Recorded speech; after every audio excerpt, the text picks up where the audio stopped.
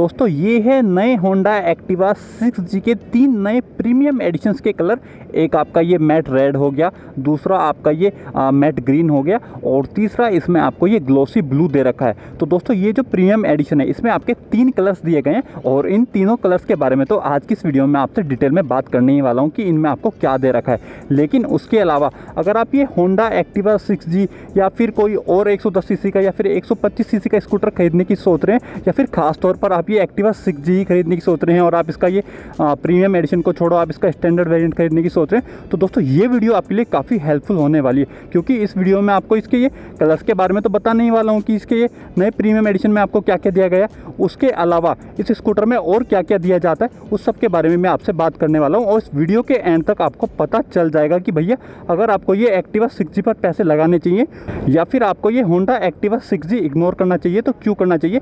ये सारा का सारा आपको इस वीडियो के एंड तक पता चल जाएगा। तो दोस्तों, ये जो होंडा एक्टिवा सिक्स के प्रीमियम एडिशन है, इसमें बेसिकली इनके तीन कलर्स लॉन्च किए गए हैं। पहला तो आप देख सकते हैं कि ये रेड वाला कलर है। दूसरा, इसमें ये मैट ग्रीन कलर का ऑप्शन है और तीसरा, इसमें ये ग्लोसी ब्लू कलर का ऑप्शन है। तो मतलब कि दो तो आपके मैट कलर्स हो गए। एक तो आपका ये मैट रेड हो गया और दूसरा मैट ग्रीन हो गया और एक ही ब्लू वाला आपका ग्लोसी में हो गया। बाकी अगर आप कीमत की बात करते हैं तो दोस्तों ये स्कूटर्स लॉन्च किए गए हैं लगभग लगभग साढ़े पचहत्तर हज़ार रुपये की एक्स शोरूम कीमत पर। मतलब कि अगर आप ये स्टैंडर्ड वेरिएंट से कंपेयर करते हैं तो फिर आपको ये प्रीमियम एडिशंस के लिए तीन हज़ार रुपये ज़्यादा देने होंगे। और सबसे पहले बात करते हैं इनके डिज़ाइन और बिल्ड क्वालिटी वगैरह के मामले में। तो दोस्तों, आप देख सकते हैं कि आपको तीन तीन नए कलर्स दे रखे हैं। पहले मैं ये रेड कलर वाले के बारे में बात कर लेता हूँ। तो दोस्तों, ये मैट रेड है, आप देख सकते हैं ये आपको कैसा लग रहा है। इधर आपको कुछ गोल्डन कलर की स्ट्रिपिंग दे रखी है। बाकी अगर आप इसके व्हील्स देखोगे तो वो आपको डार्क कॉपर कलर के दे रखे हैं। बाकी अगर आप थोड़ा सा पीछे की ओर आते हैं तो आप देख सकते हैं कि जो इसके इंटीरियर है, वो आपको ब्राउन कलर का दिया गया है। ये डार्क ब्राउन कलर का आपको इसका इंटीरियर दे रखा है। इसकी जो सीट का कवर है, ये भी आपको डार्क ब्राउन कलर का दे रखा है। और इधर जो ये एक्टिवा की बैजिंग होती है, ये आपको गोल्डन कलर में दे रखी है और इधर काफ़ी अच्छे से प्रीमियम भी लिख करके दे रखा है। और दूसरा इसमें ये मैट ग्रीन कलर का ऑप्शन दे रखा है। आप देख सकते हैं कि ये मैट ग्रीन वाला कलर है और इस पर जो ये होंडा की बैजिंग है, वो आपको कॉपर कलर की दे रखी है। बाकी कॉपर कलर के ट्रीटमेंट आपको फ्रंट में दिखाई देंगे और जो अगर आप इसके व्हील्स को देखेंगे तो ये भी आपको डार्क कॉपर कलर के दे रखे हैं।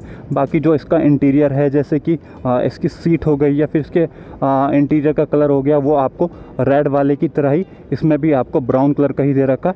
मतलब कि दोस्तों, ये जो दोनों ही मैट कलर वाले कलर्स हैं, इनका जो बॉडी कलर है, वो तो आपको मैट में दे रखा है। बाकी जो इंटीरियर्स है, वो आपको ब्राउन कलर के दिए गए हैं। और अब आते हैं ये ब्लू वाले पर। तो दोस्तों, ये जो ब्लू कलर है, ये आपको ग्लॉसी फिनिशिंग में दे रखा है, ये थोड़ा थोड़ा आपको स्पार्कल ब्लू टाइप का दे रखा है, ये काफ़ी शाइनी सा कलर है। और अगर आप इसके भी इंटीरियर की बात करोगे तो इस पर भी जो सीट है, या फिर जो ये अंदर की प्लास्टिक है, ये सारी की सारी आपको ब्राउन कलर की दे रखी है। अगर आप बैजिंग देखोगे तो इस पर भी आपको ये एक्टिवा प्रीमियम की जो बैजिंग है, वो आपको गोल्डन कलर की दे रखी है। बाकी अगर आप बिल्ड क्वालिटी की बात करोगे तो इसके जो ये फ्रंट पैनल है, ये आपको प्लास्टिक के दिए जाते हैं। जो आपका मडगार्ड है, ये भी आपको मेटल का दिया जाता है और जो साइड पैनल्स है ये आपको मेटल के दिए जाते हैं। बाकी अगर आप फिट एंड फिनिश की बात करोगे तो उस मामले में मुझे तो नहीं लगता कि आपको कोई भी शिकायत आनी चाहिए।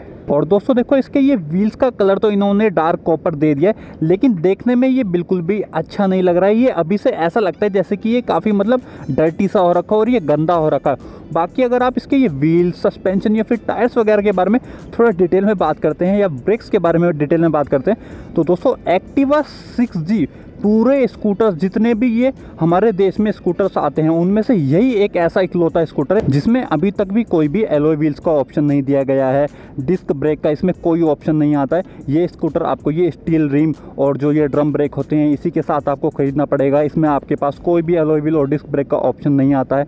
बाकी अगर आप सस्पेंशन की बात करोगे तो इसके फ्रंट में आपको टेलीस्कोपिक सस्पेंशन दिए गए हैं। और अगर आप इसके व्हील के साइज़ के बारे में बात करते हैं तो दोस्तों, इसके फ्रंट में आपको बारह इंचज़ का व्हील दिया जाता है। बाकी अगर आप रियर की बात करोगे तो दोस्तों रियर में आपको ड्रम ब्रेक ही मिलने वाले हैं और जो ये इसका रियर व्हील है, ये आपको 10 इंचज़ का ही दे रखा है। यानी कि फ्रंट में 12 इंचज़ और रियर में आपको 10 इंचज़ का ही दे रखा है। सीट और स्पेस के मामले में जैसे कि सीट का कलर तो बदल करके दे रखा है, ये आपको ब्राउन कलर की सीट दे रखी है। बाकी इसकी साइज़ या फिर शेप में कोई भी चेंज करके नहीं दिया गया। हालाँकि इस पर अभी भी इतना स्पेस तो है कि दो लोग आराम से बैठ जाते हैं और सभी स्कूटर्स में ऐसी सीट दी जाती है जिस पर दो लोग काफ़ी आराम से आ जाए। बाकी अगर आप स्पेस की और बात करते हैं तो इसमें आपको लेग रूम तो ठीक ठाक मिल जाता है और आगे काफ़ी स्पेस भी होता है। तो मतलब जिन लोगों को थोड़ा बहुत सामान रख करके ले जाना होता है, उनके लिए इस पर आपको ठीक ठाक स्पेस मिल जाता है। और यूटिलिटी के मामले में एक हुक आपको आगे दे रखा है और एक ये सीट के नीचे दे रखा है, मैं आपको अभी दिखा देता हूँ। तो दोस्तों, ये जो सीट के नीचे वाला, ये बिल्कुल भी दिखता नहीं है, बिल्कुल सीट के अंदर ही दे रखा तो मतलब कि ये मुझे ज़्यादा प्रैक्टिकल नहीं लग रहा बाकी अगर आप सीट के अंदर की स्पेस के बारे में बात करोगे तो दोस्तों, इसकी सीट के अंदर कुछ ज़्यादा स्पेस मिलता नहीं है। बस इतना ही स्पेस दिया जाता है कि आपका एक हाफ़ फेस हेलमेट इसके अंदर आ सकता है। बाकी इससे ज़्यादा स्पेस इसकी सीट के अंदर दिया नहीं जाता है। और इसकी सीट के अंदर ऐसा भी नहीं है, जैसे कि अगर आप आजकल के स्कूटर्स देखोगे, जिनमें आपको एक लाइट दी जाती है। तो दोस्तों, इसमें आपको लाइट भी नहीं दे रखी है। लाइट्स और इंडिकेटर के मामले में इसमें आपको हेलोजन बल्ब वाले इंडिकेटर्स दिए जाते हैं और जो हेड लैम्प है, वो इसमें आपको एलईडी वाला दे रखा है। बाकी दोस्तों, अगर आप रियर की बात करोगे तो दोस्तों रियर का जितना भी सेटअप है, जैसे कि इसका ये टेल लैम्प हुआ या फिर रियर के जो ये इंडिकेटर्स हुए, ये सारे के सारे आपको हेलोजन बल्ब वाले ही दे रखे हैं। और फीचर्स और कंट्रोल्स के मामले में एक्टिवा 6G में आपको कोई भी कट ऑफ़ साइड स्टैंड नहीं दिया जाता है। मतलब कि अगर इसका स्टैंड लगा हुआ होगा तो ये स्कूटर आराम से स्टार्ट हो जाता है। बाकी अगर आप इसके कंट्रोल्स की बात करोगे तो जो आपका लेफ़्ट हैंडल होता है, उधर तो आपको लो बीम हाई बीम उसके अंदर आपको पास स्विच भी दे दिया इंडिकेटर स्विच और आपका होन स्विच हो गया। और राइट हैंडल पर चलो, शुक्र है इन्होंने आपको किल स्विच तो दे रखा है और ये साइलेंटली स्टार्ट भी हो जाता है, वो भी थोड़ा सा अच्छा लगता है। बाकी दोस्तों, अगर आप देखते हैं इसका ये बोरिंग सा इंस्ट्रूमेंट क्लस्टर तो मतलब स्कूटर्स जितने भी मार्केट में आते हैं, उनमें सबसे बोरिंग इंस्ट्रूमेंट क्लस्टर अगर बोलना हो तो वो एक्टिवा सिक्स का होगा। क्योंकि होंडा वालों ने अपने एक्टिवा 5G में भी आपको एक छोटी सी डिजिटल डिस्प्ले दी थी। लेकिन 6G में वो निकाल ली और उसके बाद बस आपको ये बड़ा सा एनालॉग इंस्ट्रूमेंट क्लस्टर दे दिया और आपको ओडोमीटर दे दिया, बाकी आपको फ्यूल गैस दे दिया। इसके अलावा कुछ और देना आपको ज़रूरी समझा ही नहीं। जैसे कि ना तो डिजिटल क्लॉक दी, जो कि आजकल आपको सभी स्कूटर्स में मिल जाती है। उसके अलावा ना कोई ट्रिप मीटर दे रखा है और ना ही कोई और इन्फॉर्मेशन इसके इंस्ट्रूमेंट क्लस्टर में दे रखी है। और फीचर्स के मामले में एक जो आजकल आपको सभी स्कूटर्स में इधर यूएसबी चार्जिंग का ऑप्शन दिया जाता है और उसके साथ साथ एक पॉकेट भी दी जाती है। तो दोस्तों, वो फीचर भी ये एक्टिवा सिक्स में आपको नहीं दे रखा है। लेकिन फीचर्स के मामले में एक चीज़ तो चलो मुझे इसमें अच्छी लग रही है, वो है इसका ये की स्विच और वो इसलिए अच्छा लग रहा है क्योंकि इसमें ना आपके पास अलग से थोड़े से ऑप्शंस दे रखे हैं। जैसे कि आप स्कूटर्स देखोगे तो उसमें आपको चाबी घुमानी होती है, कभी इधर को, कभी इधर को घुमाओ और आपकी सीट वीट ओपन होती है। तो वो सारे के सारे काम इसमें थोड़े अच्छे से हो जाते हैं। वो इसलिए क्योंकि इसमें आपके पास ऑप्शन दे रखा है। जैसे ये आप ये फ़र्स्ट मोड पर करोगे तो इधर लिखा हुआ आता है कि मैं आपको अभी दिखाऊँ। चाबी निकाल के दिखाता हूँ और ये लिखा हुआ है ना फ्यूल और सीट तो जैसे ही आपकी चाबी इस पर होती है तो ये जो आपका बटन है, ये आपका काम करने लगता है। जैसे कि अगर आप ये ऊपर को दबाते हैं तो फिर इसकी जो ये हाँ फ्यूल टैंक होता है, ये ओपन हो जाता है एक्सटर्नली और अगर आप ये दूसरा बटन दबाते हैं तो इसकी सीट ओपन हो जाती है। मैं अभी आपको दिखाऊँ, इसकी सीट ओपन हो गई। तो ये थोड़ा सा ज़्यादा प्रैक्टिकल है, ज़्यादा यूज़फुल है। इसके साथ यूज़ टू होने में ज़्यादा टाइम भी नहीं लगता है, बाकी आपका ये ऑन वाला फ़ंक्शन हो गया।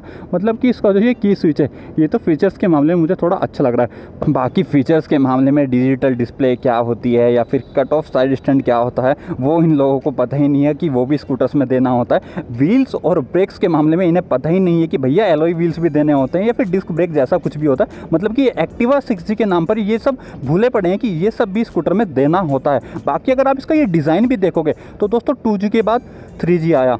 फोर जी आया, फाइव जी आया और अब ये है सिक्स जी। लेकिन अगर आप इसका फ्रंट फेसिया देखोगे, फ्रंट फेस आप इस स्कूटर का देखोगे तो ये अभी भी बिल्कुल ऐसा ही लगता है जैसे कि इनका टू जी था। कोई भी ज़्यादा बड़ा चेंज आपको करके नहीं दे रखा। तो दोस्तों देखिए, आप ये 2022 के समय में अगर एक्टिवा सिक्स जी खरीदने की सोच रहे हैं और आप इसका कोई सा भी वेरियंट खरीद रहे हैं, आप इसका स्टैंडर्ड वेरियंट खरीद रहे हैं या फिर आप ये प्रीमियम एडिशन खरीदने की सोच रहे हैं तो मैं आपको पहले ही बता देता हूँ कि आपको ये एक्टिवा में क्या क्या अच्छा मिलने वाला एक तो आपको इसके इंजन की परफॉर्मेंस अच्छी मिलने वाली है, क्योंकि इसका जो ये एक सीसी का इंजन है ये सेगमेंट में काफ़ी अच्छा परफॉर्म करता है। उसके बाद इस स्कूटर की रिलायबिलिटी अच्छी है। इस स्कूटर में जल्दी से कोई भी ज़्यादा आपको परेशानी नहीं आएगी क्योंकि ये आ, मार्केट में लीडर है और काफ़ी समय से मार्केट में अवेलेबल है। तो फिर आपको मेंटेनेंस से लेकर के कोई भी शिकायत नहीं आएगी। आराम से इजीली इसके स्पेयर पार्ट्स अवेलेबल हो जाते हैं।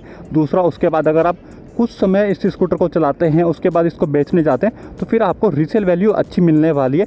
तो मतलब कि दोस्तों, अगर आप प्रैक्टिकलिटी देखोगे तो इंजन की परफॉर्मेंस उसके बाद मेंटेनेंस और तीसरा इसकी रीसेल वैल्यू इन तीन मामलों में ही मुझे लगता है कि ये स्कूटर अच्छा है।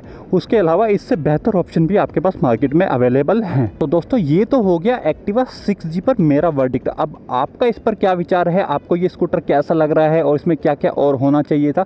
वो आप मुझे कमेंट में बताइए। आपके मन में कोई कन्फ्यूज़न है, कोई सवाल है? वो आप मुझसे कमेंट में पूछिए। मेरी तो यही कोशिश होती है कि जल्द से जल्द आपके कमेंट पर रिप्लाई दे दूँ।